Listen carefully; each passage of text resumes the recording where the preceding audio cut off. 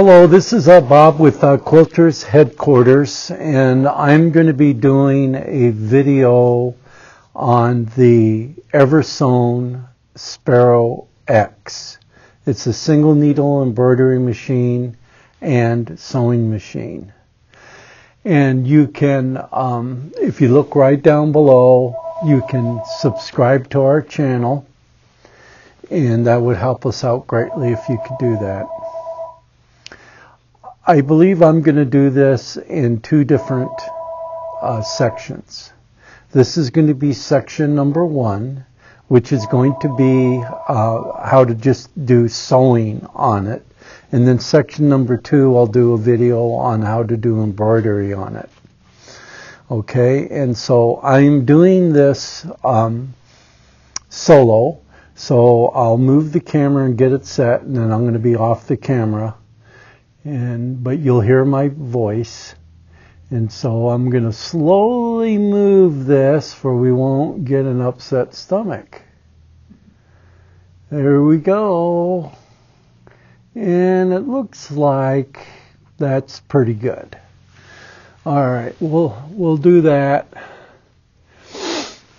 And we'll start. First of all, I'm going to turn it on. It's right here, right by the cord, where the electric cord comes out you have that right there.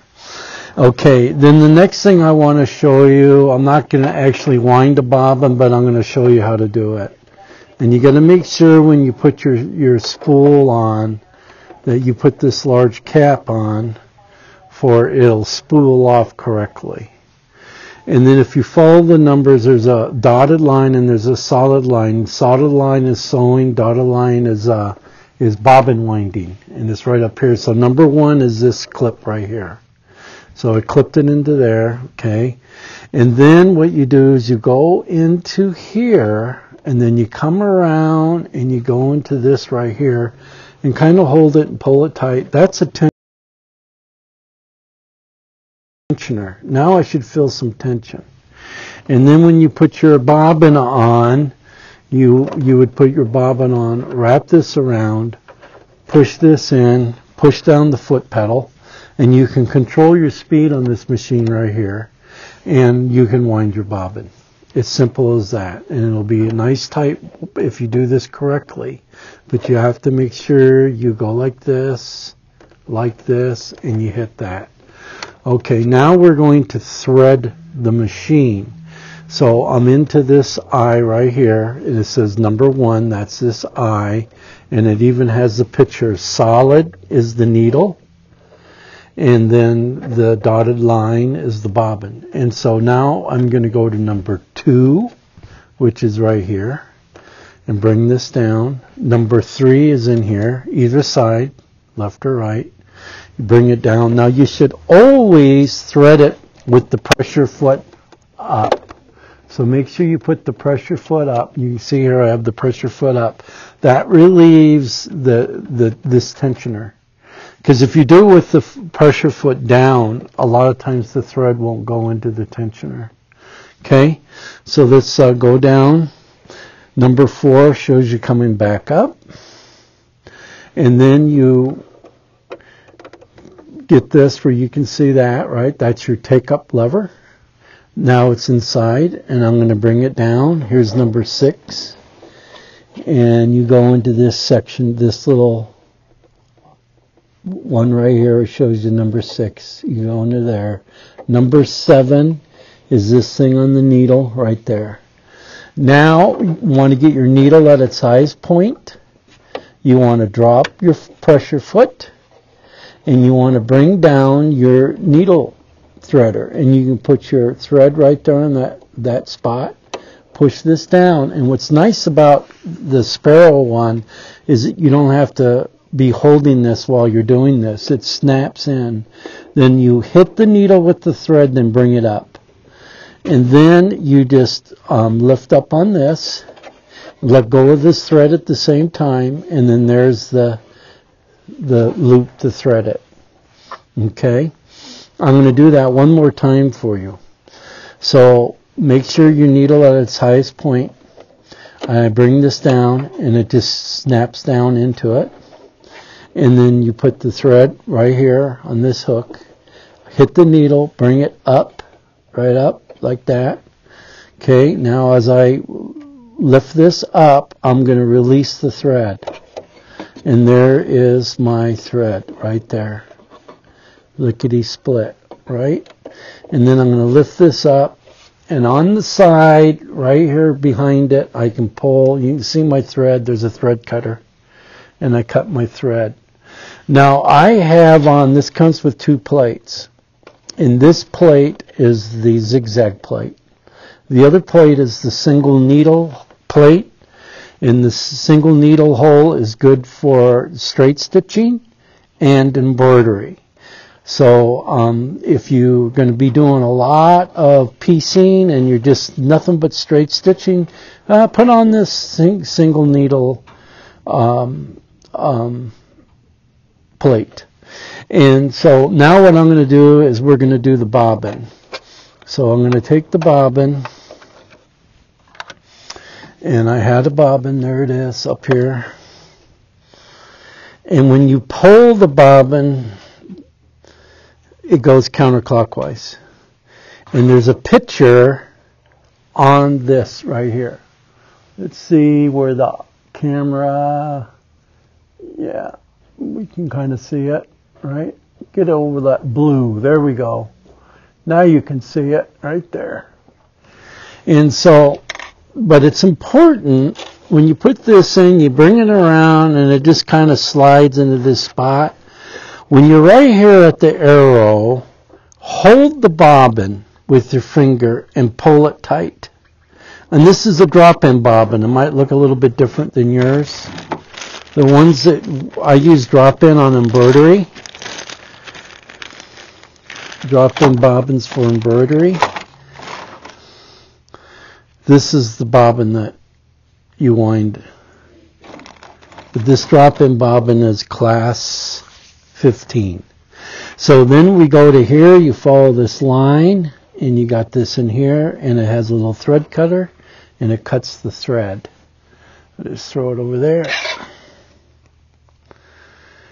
And and there it's that's on. Now this is ready to sew, which we're going to do a little bit of sewing. We're going to show you a little bit how that works. And then we're going to change the needle plate. And then we're just going to make another video on how to do embroidery. And so here we go. This is a nice sewing machine. And so, and I have my speed control here. Look how nice and straight it goes. It's going nice and straight. It's not going to the left, not going to the right. That's real important. And this little dynamite machine is so awesome because you got a scissors cut. And you don't usually find one in this price range with a scissors cut. And um, and there's my sewing. And so then you also have needle down, which is another nice feature. So whenever I stop, if I'm doing applique, I can just turn it, go like this and turn it. I got needle down whenever I stop. And so that works real well. So needle down is a is a big plus. And then I can cut it. Another big plus with the uh, sewing machine side of this machine is um, you have an always run button. So when I'm doing free motion quilting, things like that, um, I don't have to be concentrating on the foot pedal at all. I can adjust my my speed and I can push the button and just free motion quilt runners, tabletops, things like that. You wouldn't have a, a problem with. The cutter is very fast. It works faster than other cutters on the market. And then you have another feature which is nice. And that feature is this. It ties the knot. So you don't have to go forward, backward, anything all like that. You just go like this, push the button, and I've tied my knot. So that, that's just an awesome feature. And of course, here's reverse. And so I can hold down the button, it goes as far as I want it, I let go and it goes forward. and look how nice and straight it goes. I mean, it's it's unbelievable. That's really nice. Okay, then the other things that we'll look at as a sewing machine is right here. Let's see. Yeah, you can pretty much see that. Um, right here is your um, your menu. So this is your your stitches. And see if I push that, this is for see these two flower things. This this panel here is if you get an error message when you're doing embroidery, you just pull this out and it tells you what the error is. And then when you correct the error, you have to turn the machine off, then turn it back on. You have to reboot. Okay, and so th- then this is, see, there's th- on, on this, let's see if you can see that. You can't. Let's get this down here where you can see it a little bit better.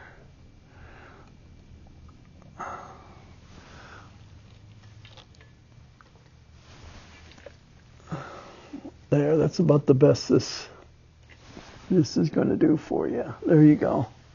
And then we'll move that a little bit for you there. So this was the um, error message. This is for the two little stars right here. So when you put match these two stars with these two stars right up here, off when you use the menu, and it shows a little line right here, and then this is for over here, right? So um, you that's for these stitches, these decorative stitches. And then if I push this uh, button here, this is for these stitches. And it even has an emblem right down here that shows you what um, each of these these cards will do. And so this is the sewing emblem, matches this emblem, matches that green light. I pull that out, and then I can just push this button, and to see this is 04, 05, 06, and I can just find my um, deals that way. I'm going to reboot just to go back to zero. And then so um, and so that's what this does. And then the other thing that you can you do is when you're in this this sewing mode or in this mode doesn't matter either one of these modes. You go to this button here. This button here. This is my stitch um, width. This is my stitch length, which is defaulted at 2.5, which is kind of popular.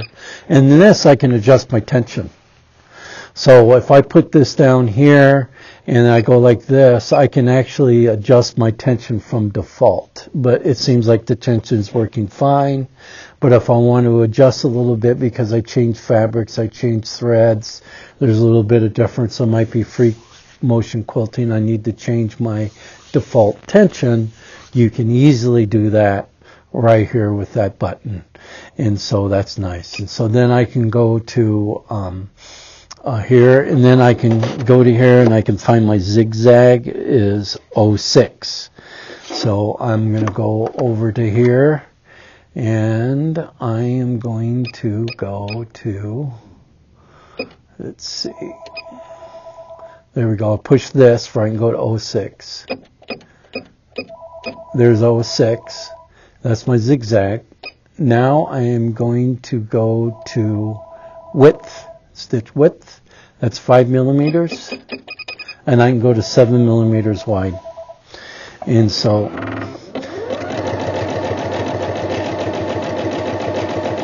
hands free, nice and straight. I'm not fighting it. And I cut it.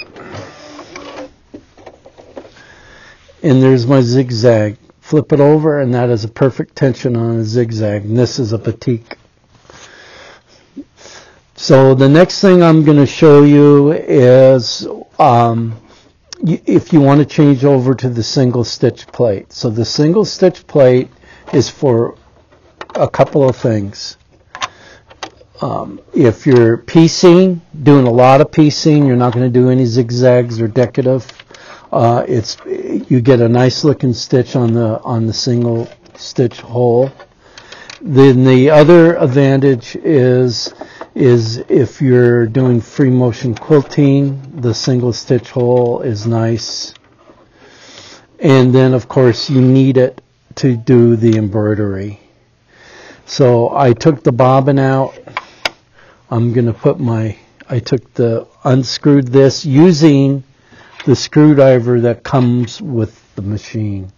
So there, there you go. Screwdriver that comes with the machine.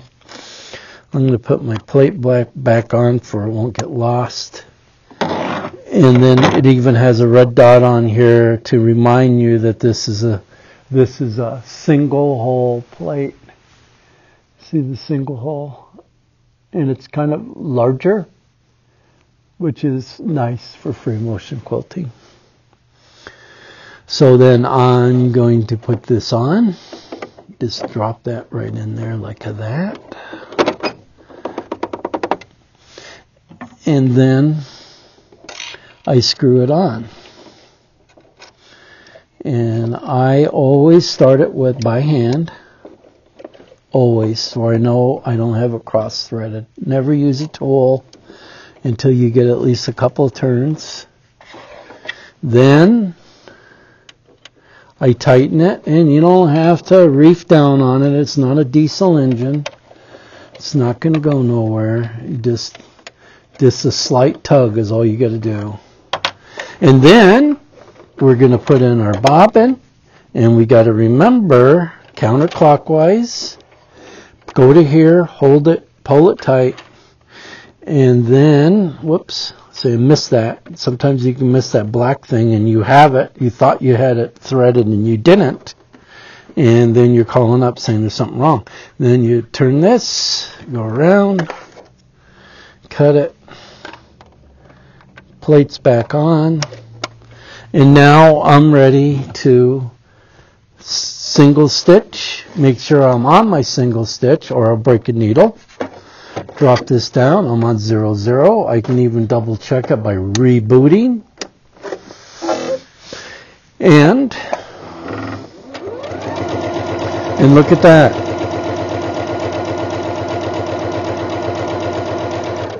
Beautiful, isn't it? You don't have to pull the tails. You don't have to have a starter on it. Great job.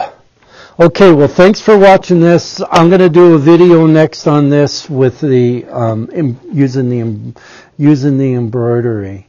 So um, let's see. Here we go. I'm back.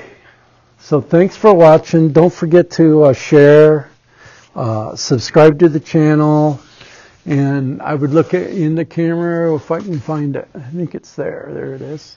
And so anyways, thanks. Bye.